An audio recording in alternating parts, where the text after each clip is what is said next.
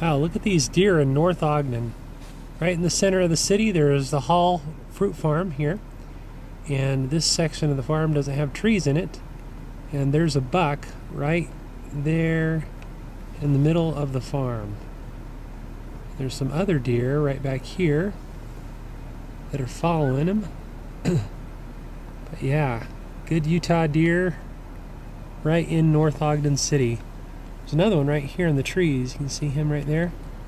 He's just waiting, trying to figure out what to do. This buck here is actually fairly good size.